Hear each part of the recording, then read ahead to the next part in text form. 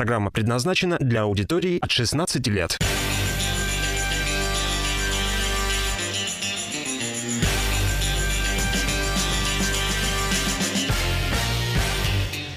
Стартует второй час дневного разворота. У микрофона все так же Юлия Афанасьева. И Александр Асохин. Еще раз здравствуйте. А, ну что, переходим с темы Великорецкого крестного хода. Также, можно сказать, на какую-то иную культурную а, тематику. Но все-таки затронем а, крестный ход. Надо мне поправиться, исправиться. Сказала, что завтра завершится он. А, конечно же, 8, 8 июня. Завтра только вечером встречают паломников в Мурыгино. Ну и в преддверии э, второй темы надо представить нашего спикера. Это Валерий Федяев, создатель, руководитель Музея истории Хлынова. Валерий Иванович, здравствуйте. Добрый день. день. Добрый день. Будем мы также говорить сегодня и про э, мероприятие в библиотеке имени Пушкина, но это уже после половины часа. А в перед эфиром Валерий Иванович сказал, вот мы в прошлом часе говорили, что очень много проблем с крестным ходом, а Валерий Иванович сказал, что зимой, например, в купели не было освещения. И вы как-то заинтересовались и решили изменить эту, решить проблему. Да, поступила информация от жителей э, Великорецкого, что в купели и у источника, который находится у реки Великой, отключили электричество. А за одним, э, раз там на одной линии все это было, отключили и больничный городок, где жили подслушники э, монастыря. Попросили как-то попробовать повлиять на ситуацию, ну, иначе э, зима, в 4 часа уже темно, и приезжающие паломники падали, подскальзывались в темноте на скользких ступеньках. Я написал тогда в администрацию губернатора письма, э, владыке Марку и в администрацию Юрьянского района.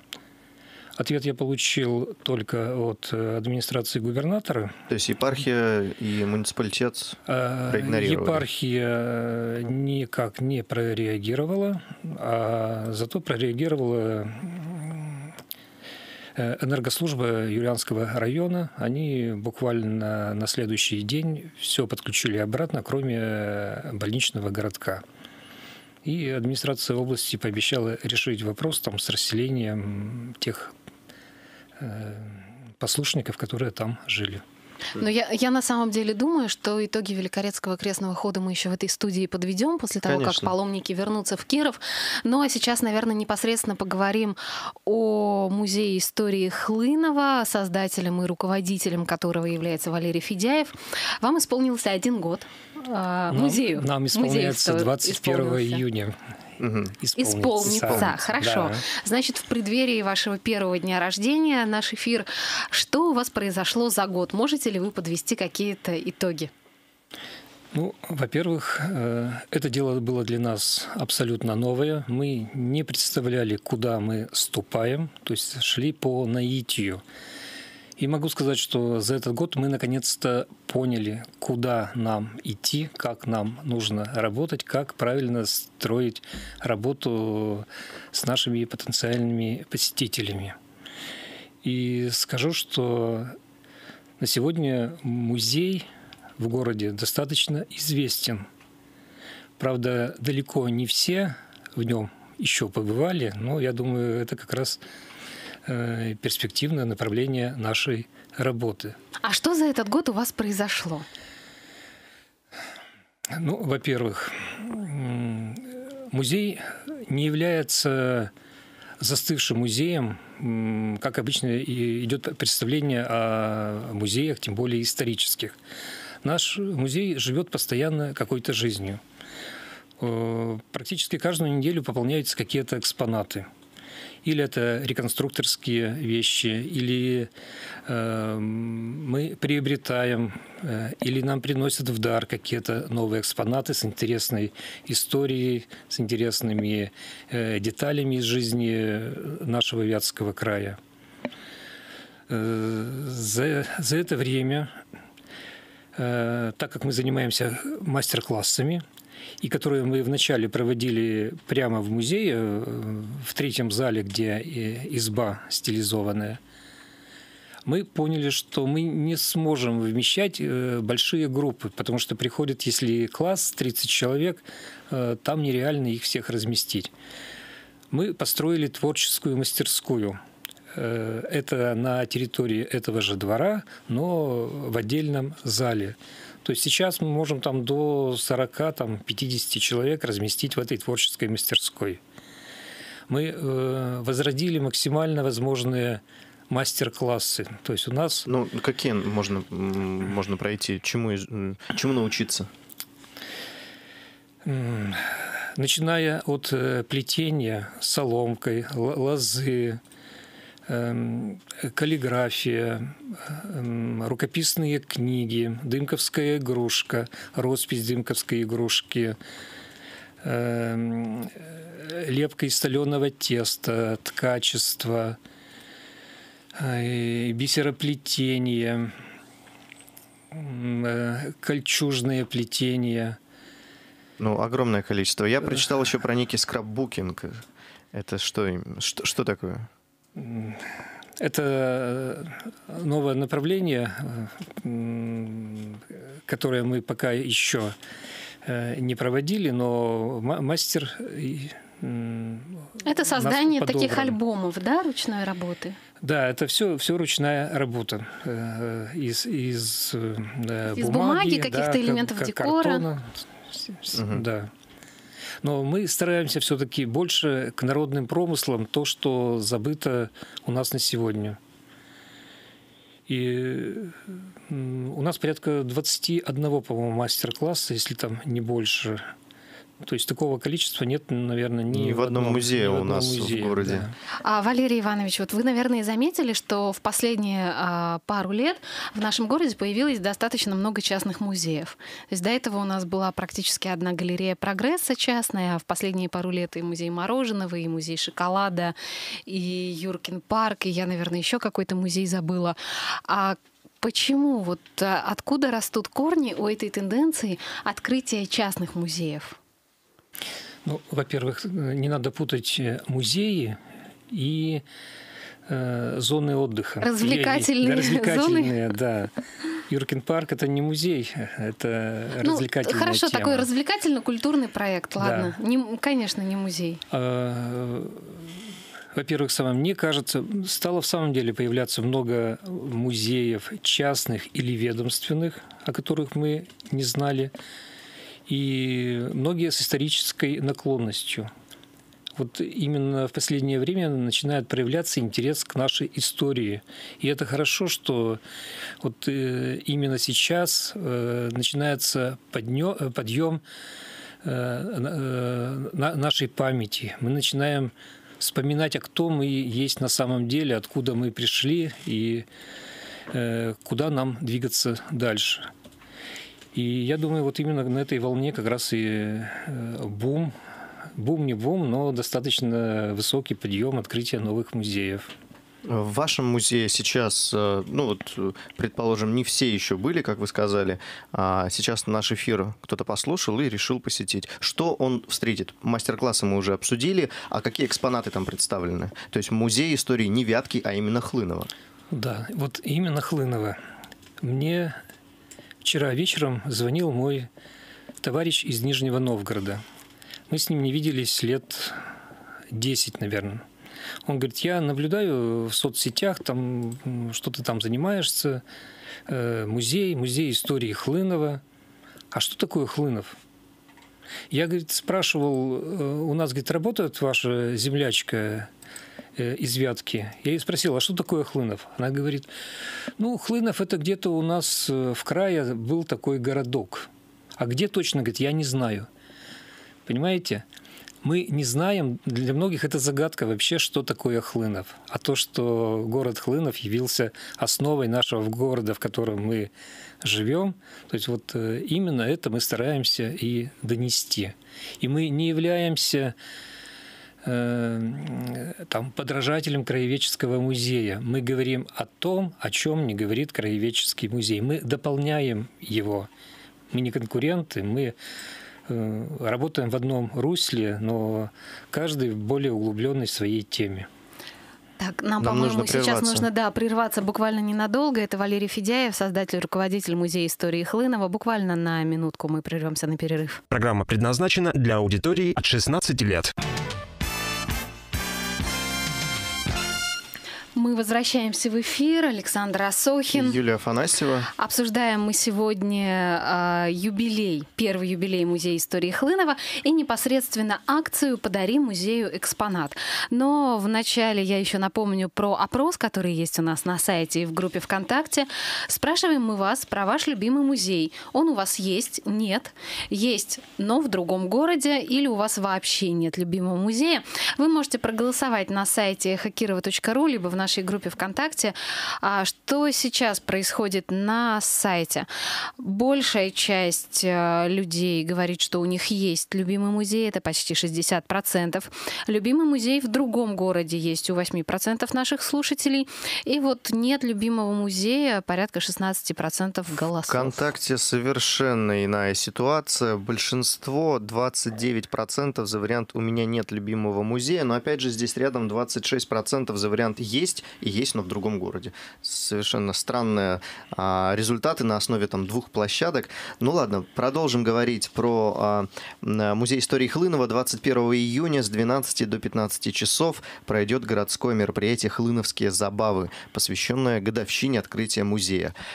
Рассказывайте, что ожидает гостей.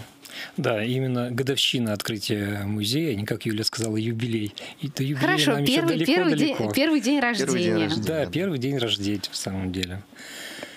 Э, в этот раз мы решили совместить два праздника и годовщину музея и хлоновские забавы. Мы проводили его, испытали в прошлый раз, но это было в сентябре месяце.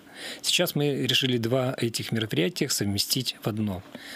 Принципе, на этом мероприятии те, кто был в прошлый раз, увидят те же самые реконструкторские игры, демонстрацию э, вооружения, э, амуниции э, того периода наших предков, поучаствуют в народных забытых нами играх. Будут, естественно, мастер-классы, будет продажа народных промыслов мастерами, которые сами изготавливают их.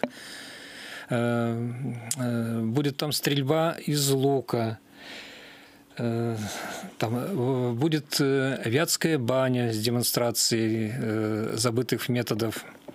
То есть непосредственно парение будет, то есть, то есть в парилку будут да, заходить да, и прям париться? будет сама баня с демонстрационным экраном, где будут показывать все методы, а желающие будут наблюдать через стекло за всеми этими процессами. А вот вы сказали про игры, и мастер-классы.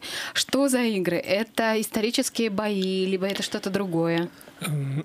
Будут и боевые игры, будут и народные игры. Э, Например, какие народные? Э, народные. Во-первых, у нас будет там обряд э, подготовки невесты к свадьбе. То есть как готовили невесту к свадьбе, это будет все обыграно, показано, и желающие могут в нем поучаствовать. Э, будет ансамбль Горенко, который с народными песнями и переходящими в игровые забавы, в хороводы, танцы, будет привлекать наших гостей то, что касается игр. Мастер-классы у нас будут... Эм, будет народная кукла, изготовление народной береговой куклы.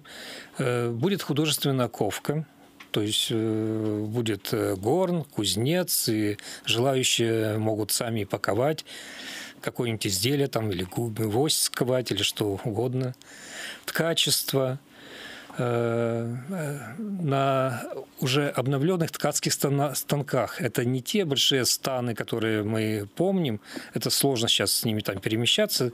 Сделаны у наших мастеров не миниатюрные, но компактные ткацкие станки, которые размещаются на столе. И э, очень легко обучаются ткачеству, и многие после одного занятия уже продолжают сами э, у себя работать. Будет дымковская игрушка. У нас будет наша знаменитая мастерица Племянникова Валентина Петровна – Э, участвовать и показывать свое творчество. Одна из старейших оставшихся у нас э, мастериц. Это то есть будет мастер-класс? Это будет и мастер-класс, и ее работы mm-hmm. будут представлены, и рассказы. Рассказчица она вообще изумительная. Э, будет, ну, как всегда, и конь вятский, вятской породы. Порода вятская наша знаменитая. То есть желающие могут на нем и прокатиться, и покормить, и покрасоваться. А вот я вижу, что у вас будет квест. Ага. Расскажите, пожалуйста. Этот квест мы испытали на Ночи музеев. Так. Вот. Э, такого в Кирове пока еще не было. Это такой интеллектуальный квест-тест мы его называем. Потому что квест для многих это э, Бегать, определенная игра, делать, там, искать. выполнять задания. А здесь э, его можно проходить индивидуально. В принципе, любой желающий может зайти в музей, подключиться к Wi-Fi, к интернету, зайти э, на сайт свой кировский, там опубликован этот тест. И пошагово э, он идет и отвечает на вопросы. Но на эти вопросы нельзя на многие ответить, если ты не сходил на экскурсию в музей и послушал Э, экскурсовода. Или нужно, если самому пройти, там у нас э, есть аудиогид, и на русском, и на английском языке можно самому пройти, прослушать и постараться ответить.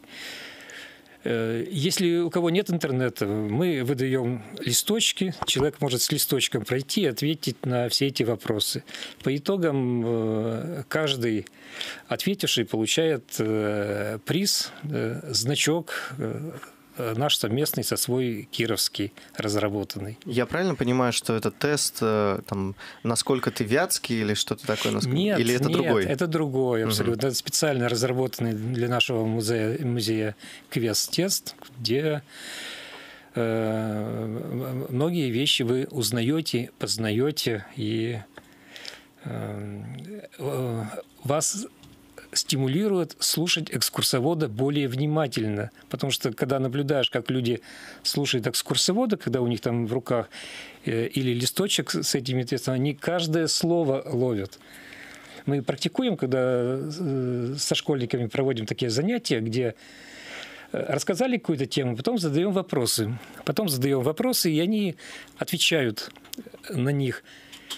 И когда они там получают сначала там жетончики, один раз получили, второй раз э, смотришь, как у них там сразу интерес проявляется, и дальше они просто неотрывно слушают экскурсовода, и в конце там получают там какую-то грамоту там на класс, потом там каждый персональный там подарочек. Вот у нас э, разработаны вот такие еще значки музея истории Хлынова, и где написано... Я ветчанин, а ты? Вот. Это тоже стимул задуматься.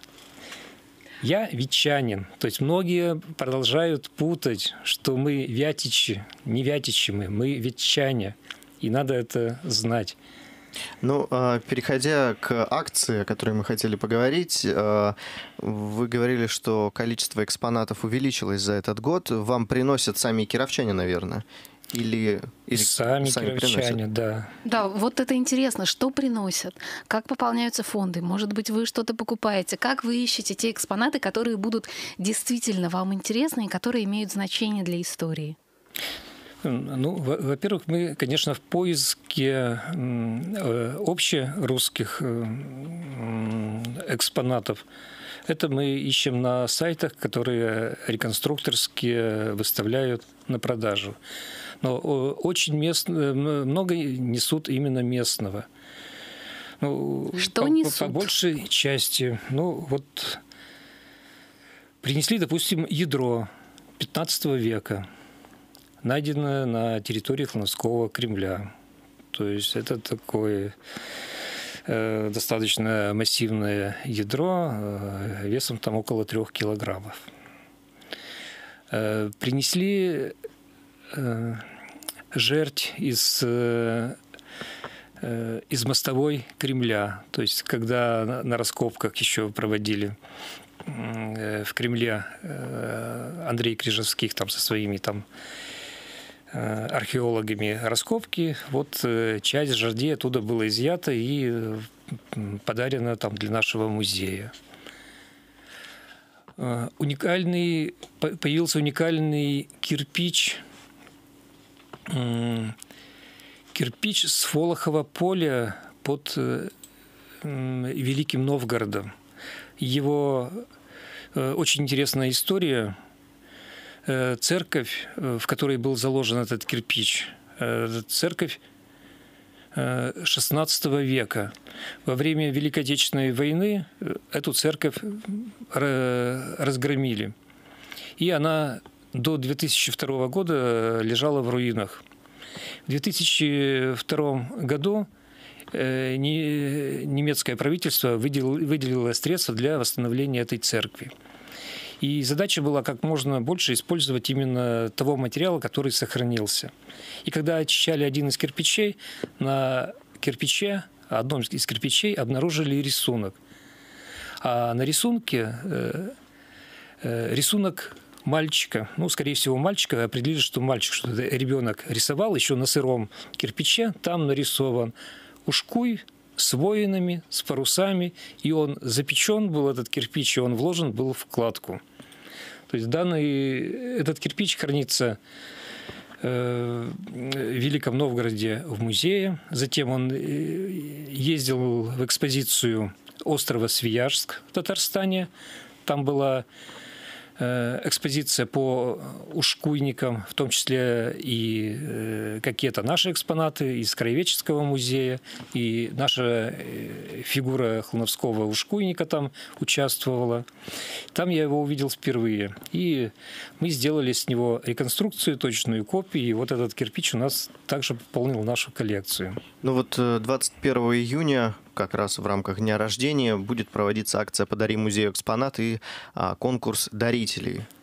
А какие экспонаты принимаете и каким образом будете определять победителя и что этот победитель получит?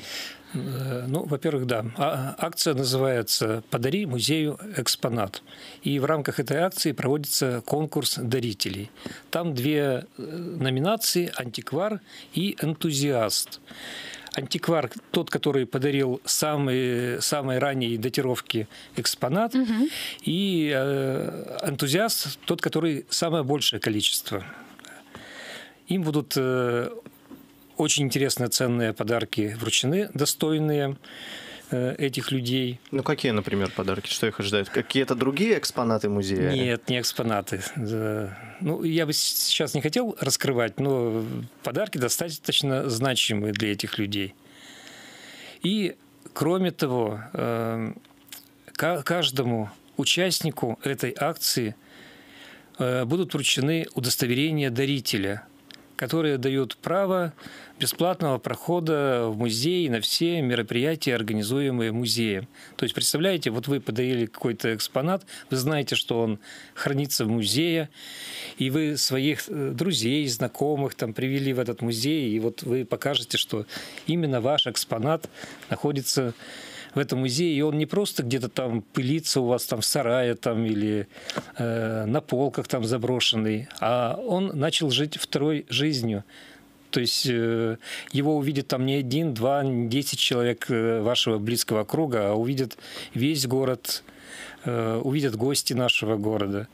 Я считаю, что это как бы достойно. Как, какие экспонаты принимаются? То есть понятно, что музей истории Хлынова, поэтому определенный там исторический да, все равно то есть если период. вам принесут букварь советский, это, это не, не возьмете. период. Это не по адресу. Поэтому у нас обозначено, что экспонаты Э, до 1780 года.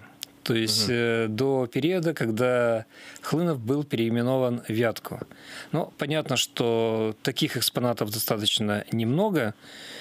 И э, это могут быть реконструкторские вещи того периода. У многих такие вещи есть. Но кроме того, мы берем и предметы быта. Мы обозначили 19 век, но вы же знаете, что там 19 век – это многие вещи, которыми до сих пор пользуются люди и сколько у нас там есть заброшенных деревень. Это даже может быть не просто экспонат в музее, это может быть экспонат, который можно использоваться для оформление территории музея. Потому что, заходя на территорию музея, вы уже попадаете в совершенно другой период э, времени, времени, в 17 век.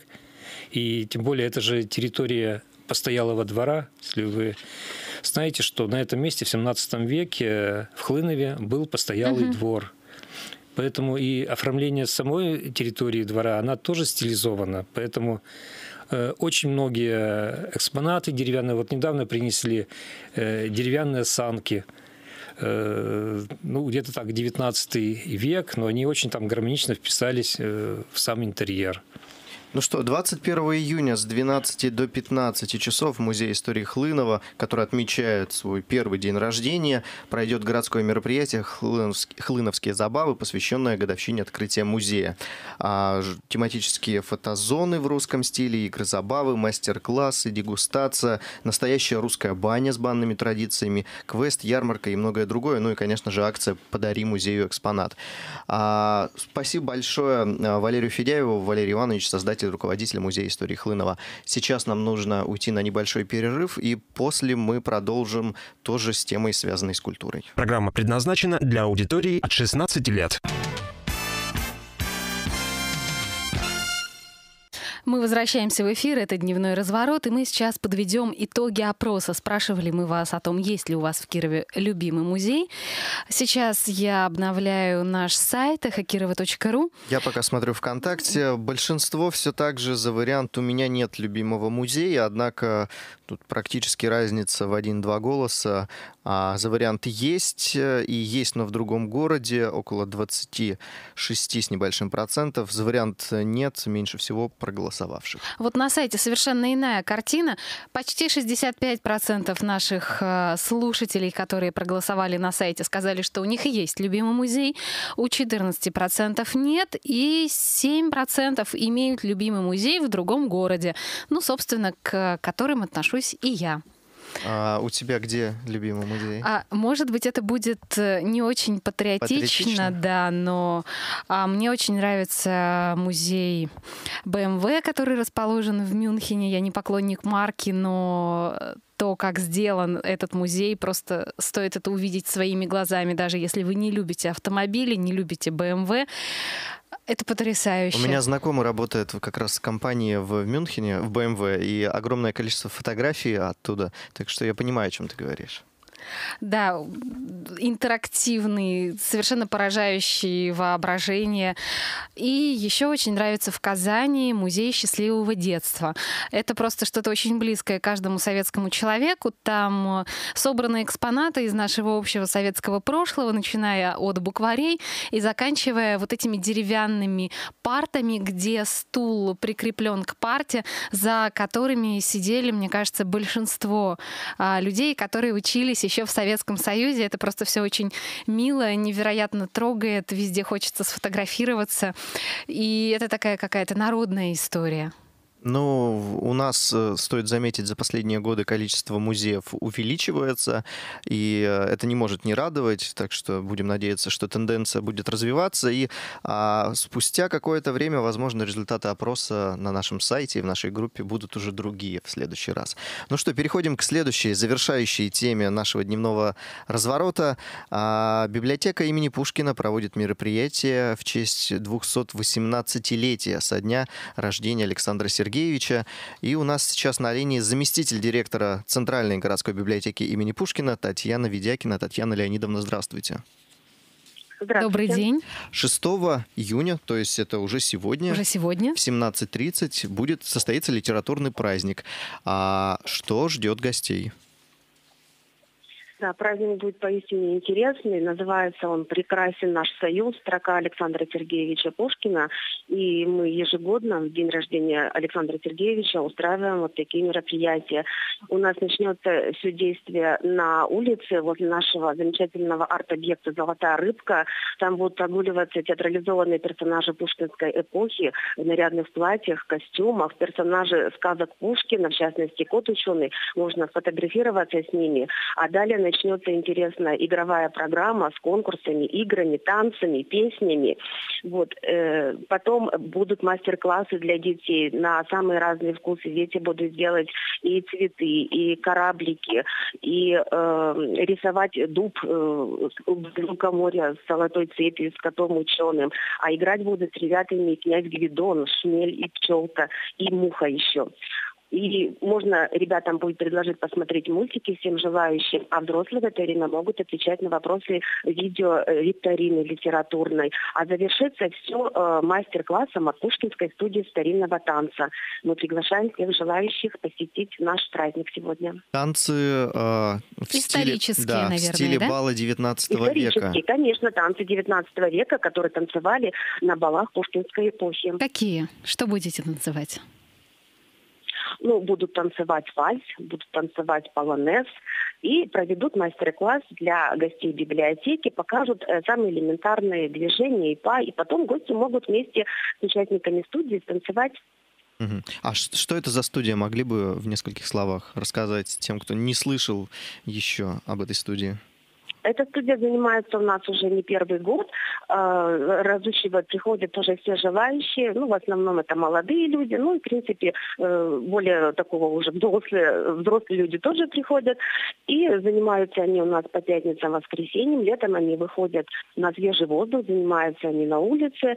А устраивают четыре раза в год балы э, всевозможные. Ну, и разучивают вот такие вот уже традиционные танцы э, 19 ну, где-то даже 18 века. А вот вы сказали, что на улицах проходят у них мероприятия, а в какие-то определенные дни, то есть где их можно встретить? В каких-то определенных местах? Но они сами выбирают площадки. Насколько я знаю, у них э, пятница и воскресенье были традиционные дни. Мгм. Они сами уже договариваются между собой, выбирают площадки и танцуют. Я знаю, что они и у э, театра кукол танцевали, и на Спасской танцевали.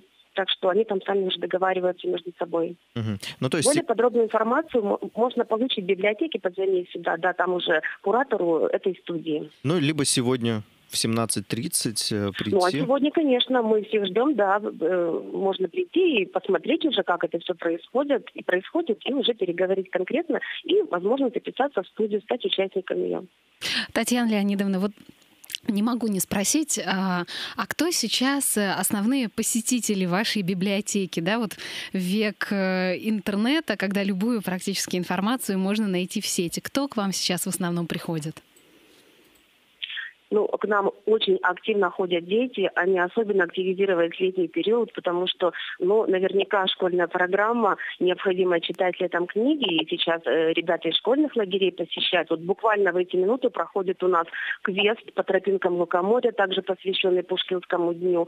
У нас активно э, ходит взрослое население, ну, так скажем, э, такого зрелого возраста, читают книги, художественную литературу, журналы, газеты, вот. Ну и молодежь, конечно, чаще приходит на мероприятия, ну и где-то позаниматься тоже ходит. А что касается читального зала в Александровском саду, кто посещает мероприятия там? Кто эти люди? А в Александровском саду э, читальный зал посещают все, кто придет погулять в Александровский сад. Мгм. То есть любой человек, который проходит мимо, может заглянуть у нас э, в летнее кафе, это шахматный домик, и посмотреть свежие газеты, полистать журналы, книги. А по субботам там проходит уикенд, игровые программы и мастер-классы с 11 до половины первого. Но хочется уточнить, что все это происходит только в хорошую погоду. Лето, к сожалению, нас нынче не радует, ни весна, ни лето. Вот Мгм. А что, что, что за мероприятия там? То есть вот эм, э, какие мастер-классы проводятся? Ну, э, мастерят совершенно разные поделки. Э, Это могут быть и из бумаги, из картона, из, э, из использованных, из использованных CD-дисков. Ну, в общем, все подручные материалы у нас библиотекари э, на выдумку гораздо, так что могут, могут предложить самые интересные мастер-классы. А Вот. А игровые программы тоже на на самые разные темы. Дети могут и, и побегать, и поиграть, и подвижные игры, и эстафеты проводят, и викторины, и конкурсы, и все что угодно. Мгм. Можно зайти на наш сайт и посмотреть программу. Там все у нас выложено Ну, очень подробно. Информативный сайт у библиотеки имени Пушкина. А можно сказать, что с каждым годом вот площадка в Александровском саду, она пользуется все большей популярностью? Вы знаете, э, наверное, да. Вот э, мы третий год открываемся, но пока вот, к сожалению, погода нам не дает развернуться в полной мере, потому что, видите, там открытая веранда, конечно, и дождь, и, и ветер, и так далее. А вот э, по прошлому году, по сравнению с предыдущим, с позапрошлым, то да, как бы люди ходят, интересуются, знают, э, инициируют даже обмен э, книгами. Сейчас вот букросинг э, проводится вот очень часто в библиотеках. И э, берут книги даже на дом. Мы в прошлом году стали выдавать, первый год не выдавали, только там у нас э, занимались читатели. Так что э, об этом зале знают. А я знаю, что у вас еще запланированы мероприятия в День города. Да, будут такие мероприятия. Июня. 12 Проанонсируйте, июня, да, пожалуйста. Работают. А где-то на площадках, вот я вижу, что в сквере 60-летия СССР. Да, мы работаем в сквере 6-летия СССР, приглашаем тоже всех посетить нашу площадку. У нас будут работать э, городские библиотеки на этой площадке с 13 до 17 часов. Там мероприятия... Э, каждый час будут... Угу. Там мероприятия, да? наверное, больше для детей будут. Э, да, это будет больше для детей, это будут опять же игровые программы прямо на детской площадке и будут мастер-классы. Ну, в принципе, к мастер-классам у нас присоединяются и взрослые, кто любит мастерить что-то своими руками. Вот игровая программа и мастер-класс будут идти параллельно, и каждый час они будут меняться. Мастер-классы там в том числе что-то связанное с CD-дисками, насколько я помню. Да, там будут солнышки делать, там будут делать э, птиц из ткани, будут делать э, красивые цветы из полиэтиленовых пакетов. Ну, в общем-то, э, разнообразная программа. Это мы сейчас говорим про День города, 12 июня, сквер 60-летия СССР. Со скольки до скольки? 13 до 17 мы приглашаем горожан в этот сквер на наши мастер-классы и программы. Ну и сегодня в 17.30 литературный праздник, посвященный Пушкинскому, Пушкинскому дню России на Преображенской 74. Татьяна Леонидовна, спасибо большое. Это была Татьяна Ведякина, заместитель директора Центральной городской библиотеки имени Пушкина. На этом дневной разворот завершается. Александр Асохин. Юлия Афанасьева. Всего, Всего доброго. доброго. До свидания.